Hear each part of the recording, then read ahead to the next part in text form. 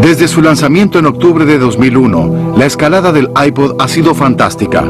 Comenzó siendo apenas una idea para convertirse en 70 millones de unidades vendidas en todo el mundo. Es agradable que lo noten otras personas.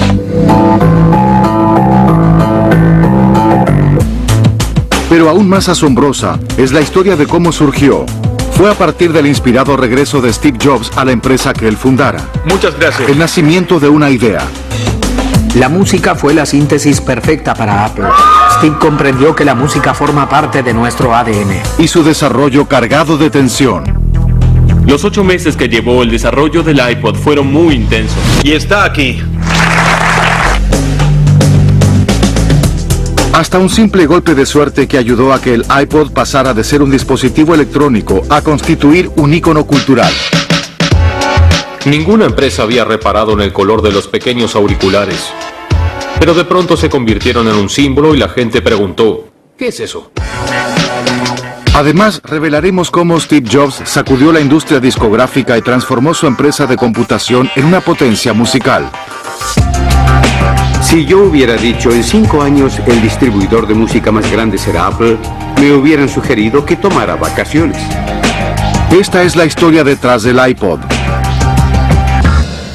Créase o no, el iPod comenzó con una sonrisa. Exactamente una sonrisa. Ese es Steve Jobs, sonriendo el 20 de diciembre de 1996. Muchas gracias. El día que se anunció que regresaba a Apple, después de más de 11 años de haber desaparecido de la empresa que él fundara. Es una hermosa historia shakespeariana, realmente lo es. Steve dejó Apple en 1985 debido a un complot contra John Scully. Scully fue seleccionado por Steve para dirigir Apple, pero luego entraron en desacuerdo. Durante años, la empresa no supo qué hacer. Con John dirigiendo tuvo tropiezos y trató de seguir fabricando las Mac sin éxito. Cuando Steve Jobs volvió a Apple estaba perdiendo mil millones al año. Las acciones habían caído de 60 dólares a 17 dólares. Para mucha gente de la industria, gente muy lista, Apple estaba en medio de una caída en espiral. La marca se tambaleaba. Los productos eran pésimos, no eran competitivos. Los más leales a la marca, Apple, comenzaron a desertar y a pasarse a Microsoft. Era una situación terrible. De hecho, la junta directiva consideró vender a Apple y cerrar la empresa. Cuando Steve Jobs volvió, fue como la llegada del Mesías.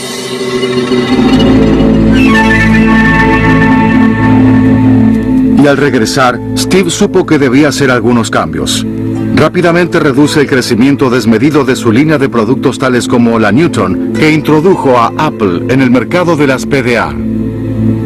Cuando Steve regresó a Apple, lo primero que hizo fue retirar la Newton. Esta era una máquina portátil con reconocimiento de escritura construida por Scully. Era estupenda en algunos aspectos, pero no tenía la etiqueta de Steve, sino la de Scully. Y aquel no arriesgaría mucho dinero en eso. Luego Steve redujo la investigación y desarrollo de proyectos de 50 a solo 10. Cuando regresó a Apple echó un vistazo a los productos y básicamente reunió a los ingenieros y les dijo, vean este producto, ¿qué le ven de malo? Puso a todos en un apuro, entonces Steve dijo, yo se los diré, son basura.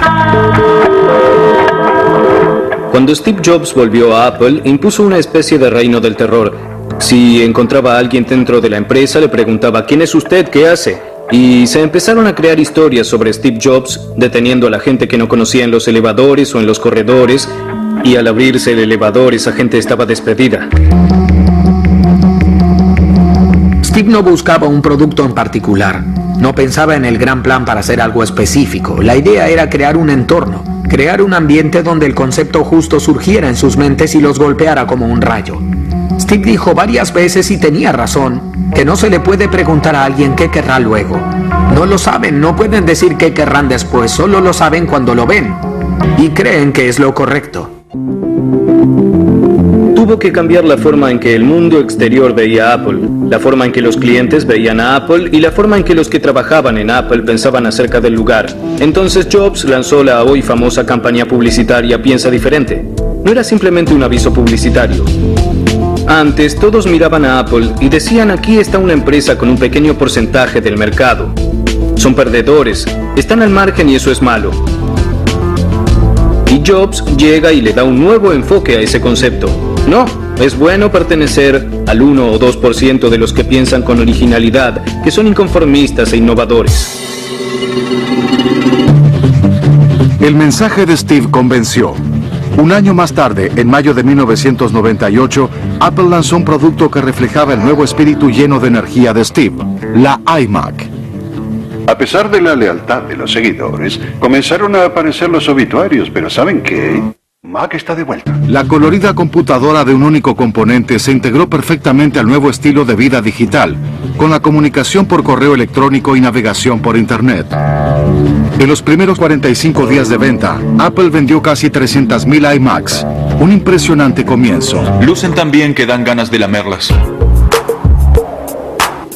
Creo que el lanzamiento de la iMac fue realmente importante porque preparó el camino para la llegada del iPod, porque la iMac fue la primera computadora nueva que por primera vez fue un éxito para la cultura de los jóvenes. Entonces, mientras que todas las demás computadoras eran aburridas y grises, él les proporcionó básicamente un aspecto pintoresco que nunca antes se había visto. Mientras que la iMac fue un paso en la dirección correcta para Apple, el catalizador real para el iPod surgiría de otro lugar. Les presentamos al novato de la Universidad del Noroeste, Sean Fanning. Sean Fanning era un novato de la Universidad del Noroeste en Boston en 1998.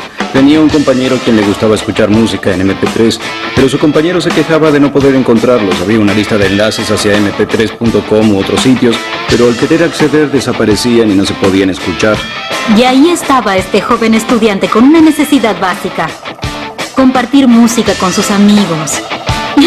Algo muy básico. No había ningún proveedor que diera este servicio.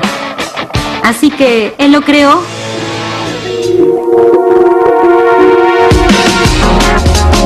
En pocos meses, Sean lanzó un revolucionario software que permitía a los usuarios compartir archivos MP3 por Internet gratuitamente. Y nombró el programa con su nombre de usuario, Napster. Cuando Sean recién lanzó el servicio, en realidad lo hizo para sus amigos, que se lo pasaron a sus amigos y estos a los suyos y así fue pasando de 50 personas a 1000. Y a la semana siguiente ya eran como 2000 y luego comenzó a crecer y creo que a fin de ese mes había llegado a 10.000 usuarios. En un año, Napster creció desde la habitación de Sean a más de 60 millones de usuarios en todo el mundo y se convirtió en la empresa con el crecimiento más rápido en la historia y en el enemigo número uno para la industria discográfica. La industria discográfica estaba aterrada con Napster, lo rastrearon por meses antes de demandarlo. Hubo una junta en la que las eh, cabezas de la industria discográfica se reunieron con Hillary Rosen que dijo, hagamos una pequeña demostración. Estaba con gente de la industria discográfica en la habitación. Eran los hombres y mujeres más importantes de la industria de la música. Y nos sentamos ahí por 45 minutos mientras nombraban canciones no comerciales, exitosas y todo lo que se les ocurría. Literalmente jugando a encuentra esa melodía y todo lo que nombraban estaba disponible en algún lugar de Napster. Y ah, todos salieron abrumados de ese cuarto. El juez de la Corte Federal dictó una orden judicial temporaria contra Napster en espera de un juicio por cargos de la industria discográfica por violación a las leyes de derecho de autor. Y mientras las compañías discográficas luchaban por callar a Napster, algo quedaba muy claro. La revolución de la música digital se había iniciado. Mientras tanto, en Apple, Steve Jobs advierte la oportunidad. Una vez que Steve y los ejecutivos cayeron en la cuenta de lo que estaba pasando en Internet con la música, eh, supieron que habían perdido una oportunidad. Hacían fotos, películas, y no fue hasta una segunda integración de la iMac que esta pudo funcionar con CDs y con la cual se pudo escuchar música. Steve sabía que Napster era un gran éxito, sabía lo que pasaba, buscaba la manera de administrar las canciones y la música, pero quería que los usuarios de Apple tuvieran el producto que les permitiera poner sus CDs en la Mac, encontrar la canción rápidamente y reproducirla. Apple encontró una compañía en la que trabajaban muchas personas que pertenecieron a Apple. Había un producto llamado SoundJam que estaba funcionando muy bien y en pocos meses lo convirtieron en algo semejante a un programa para Mac que se denominó iTunes. En enero de 2001, Steve Jobs se presenta en la exposición El Mundo de Mac en San Francisco para anunciar el lanzamiento del software iTunes, la rocola digital de Apple y el primer paso dentro del espacio de la música digital. La nota clave de la presentación de Steve Jobs es como un concierto de los Rolling Stones. Gracias a todos por venir. Ustedes pueden haber visto muchos durante años, pero no se quieren perder ninguno. En el 2001 vino a esta exposición y trajo el software iTunes, la primera rocola digital de Macintosh. Eso fue algo que realmente forzó los límites de lo que una rocola digital podía hacer. Era más bonito y más sencillo de usar que cualquier cosa en la Macintosh, pero también en Windows. Y así se supo que Apple era experta en la música digital. Para nosotros, la música lo es todo en verdad. Para Steve la música era algo natural, era la síntesis perfecta para Apple, porque Steve comprendía que la música es parte de nuestro ADN. Seamos honestos, la computadora es un elemento del siglo XX.